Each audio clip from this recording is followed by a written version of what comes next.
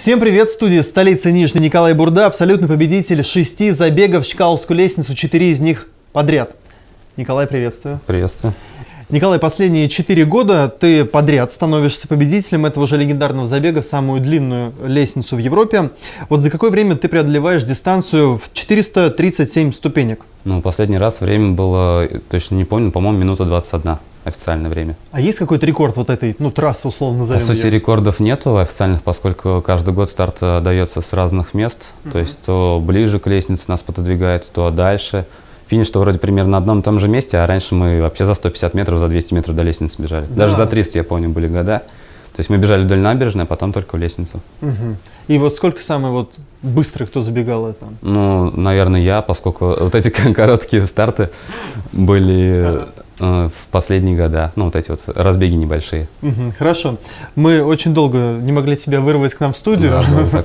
Очень долго. Поскольку ты постоянно тренируешься, вот как у тебя выстроена подготовка?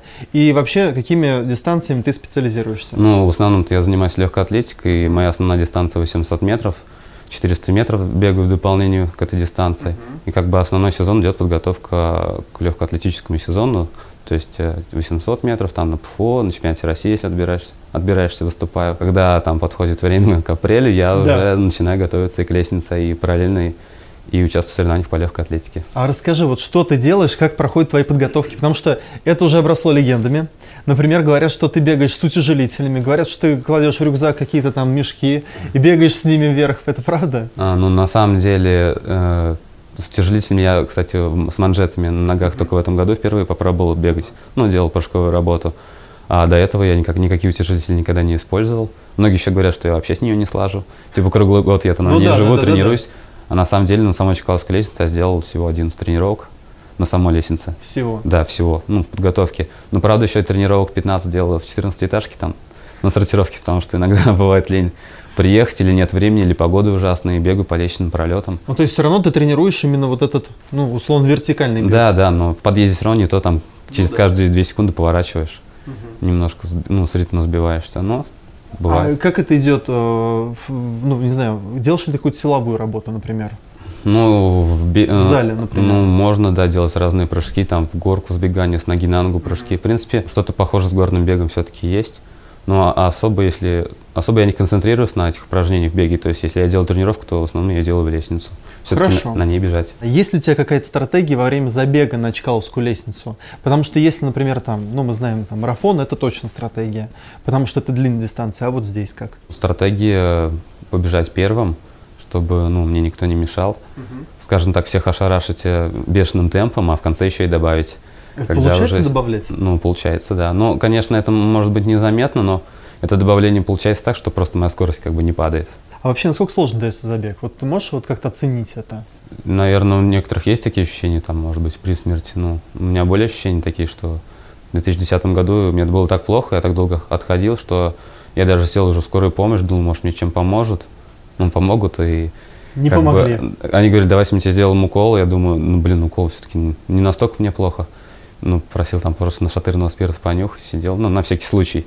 Ну, прям вообще, там, чуть ли не до слез. А вот в этом году? А вот в этом году, кстати, было легко как никогда. Вот ты, например, следишь что, там, за, за пульсом, смотришь ли, чтобы, например, у тебя пульс не, не уходил, например, за э, выше уровня там, пано, например, или это безразлично? Нет, ну, на самих тренировках, да, я бегаю с этим, с монитором сердечного ритма, с пульсом, там, слежу за ним.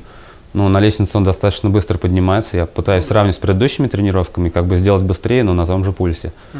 Вот, а, естественно, в самом забеге уже за пульсом некогда следить. Дистанция быстрая, но пульс, я думаю, там очень высокий. Ну, примерно. Ну, примерно, я думаю, раз мне- 200, если мне так плохо, то он может 205 достигать на финиш. Ужас какой.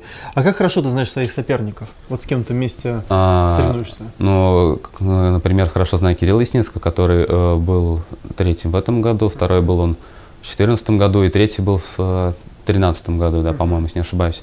Мы с ним вместе тренировали, занимались у одного тренера.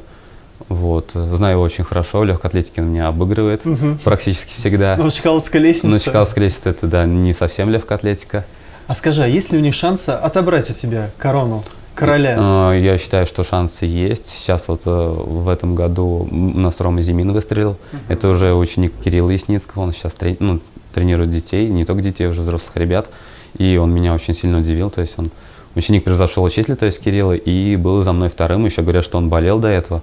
А что произойдет, если вдруг ты проиграешь? Мне Ну, интересно. если я проиграю, то я думаю, что я закончу карьеру. Меркантильный вопрос, что называется. Как ты едешь на всех четырех выигранных автомобилях? На самом деле у меня ни одного автомобиля не осталось. Все были проданы по различным причинам. Это там ремонт. А езжу я на другой автомобиль, то есть который куплен был для бизнеса. Это на Газели.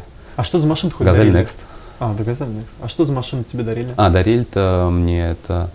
Так, Volkswagen Jetta, Так, это какой год? 2013, 2014 год Лада Гранта, 2015 Облачий. год опять Лада Гранта, стабильность, и сейчас немножко мы выросли, дошли до Datsun Nando. Думаешь, выросли? Ну, все-таки это не Лада Гранта, она считается выше, да. Хорошо, скажи, а какие у тебя планы на будущее?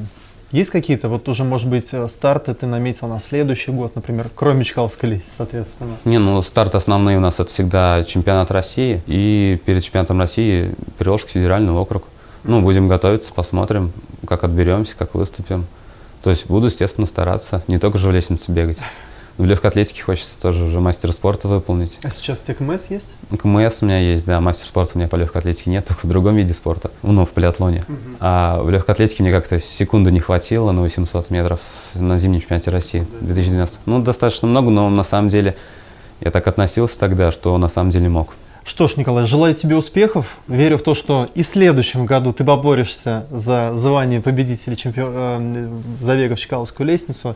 И если все реализуется хорошо, то, может быть, ты станешь чемпионом России на 800 метрах. Дай бог, был бы И мы тебя здоров. пригласим к нам в студию. Спасибо большое. Спасибо большое. Успехов тебе. Спасибо.